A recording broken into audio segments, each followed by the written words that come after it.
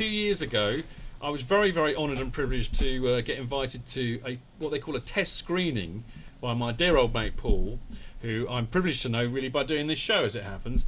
And and, I, and it was fantastic. Uh, and and now it's it's done. The the baby has been born, Paul. Finally. Can you tell us just a little bit uh, for a minute or two what what the film is essentially about?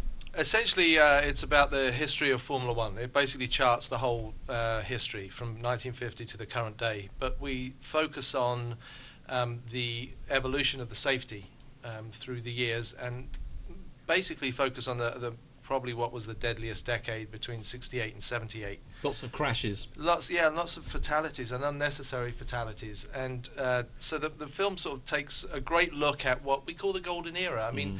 for me, I don't know if you remember, but uh, those guys were like who you wanted to be when you grew up as a kid. You wanted to be James Hunt. Yeah. You know, you wanted to be Francois Cevert. You wanted to be. They were all very good looking and they had long hair and big long sideburns. hair and sideburns, and they they had girls in their They arms, lots and there were girls. stories of them partying all the time. They're driving fast cars, so you know that was the era that captured my imagination and mine.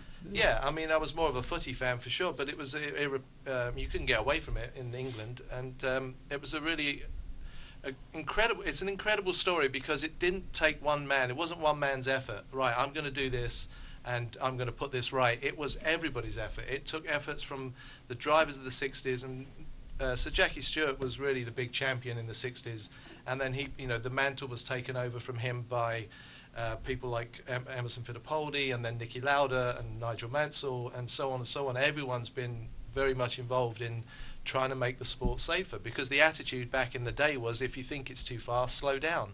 And that was it. That was basically the protection. There was no one. The, Which the- you couldn't do because the No. machinery was getting faster and Exactly, faster. Exactly because Yeah. in '68 the engines doubled in size, the sponsorship came in, aerodynamics came in, so the cars were going twice as fast, and nothing else has changed. And the the circuits would have to pay the TV people to come in, and if they had to make it safer, they'd have to pay for it. There was no governing body to say no, we're going to protect our drivers. And the drivers need protecting from themselves because a driver will drive the Mm, fastest That's what car. they do. I'll drive. The, is that car dangerous? Yeah, I'll drive it. I don't. It's the fastest Yeah. one. I'll drive the fastest one. Uh, it's very because I mean, so basically, really, the film centres around the golden age of motor racing, which is the seventies, and of course, as you say, one of the reasons why a lot of us revere that age is because it was absolutely mental, and there were a lot of crashes. And we've we've actually got a little clip uh, Yes. from the film, which you've really generously allowed us to run, uh, which absolutely epitomises, I think, one of the most famous crashes uh, of of that time, and I think we're going to run it right now. In 1976, the defending champion and points leader Niki Lauda called on his union to boycott the Nürburgring, citing unsafe track conditions. They couldn't marshal it. It would take an army of firefighters to do any good. It will be your decision if the race will continue. Hunt cast his vote to race. Lauda was defeated by the slimmest of margins. One.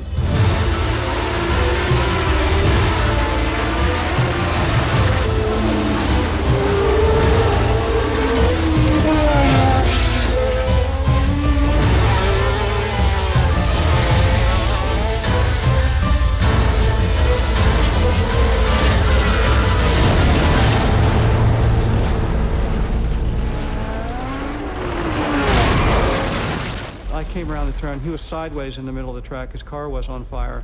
There's Brett Lunger getting out of the Surtees and into the flames. The Ferrari had different belts and different systems.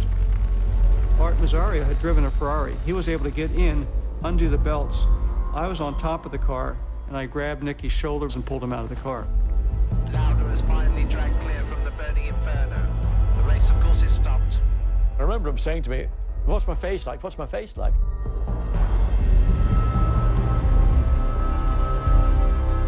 In fact, we didn't know he had ingested a lot of toxic fumes from the burning resin and fiberglass of the bodywork of the car.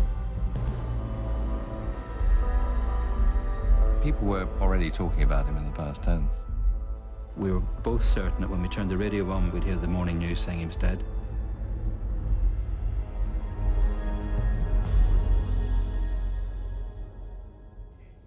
I think round of applause for that. That is stunning, absolutely stunning.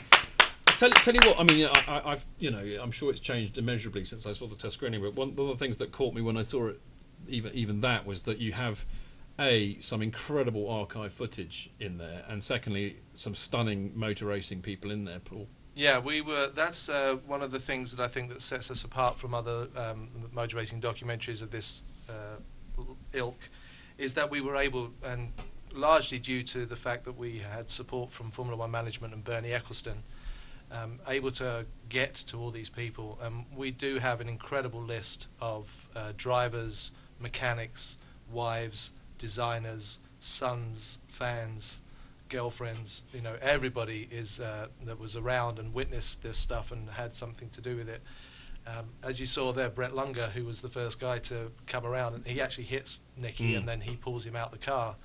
Um, you know, we were able to get him for, for an interview, and um, we got Niki Lauda to do an interview for us as well. Um, that was very fun trying to get him.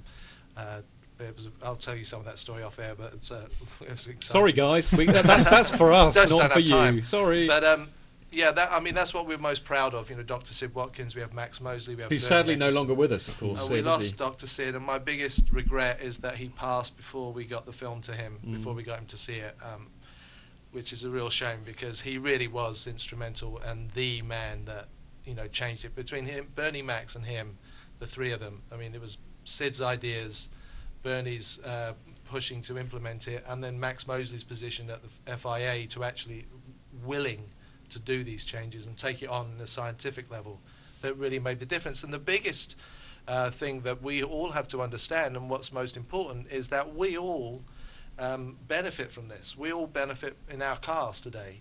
Our cars are safer on the roads because of the technologies that Mm. Formula One motor cars have, uh, have have developed. And so we're you know there's like as, as Max says in our film, you know, thirty thousand people get killed every day on the roads.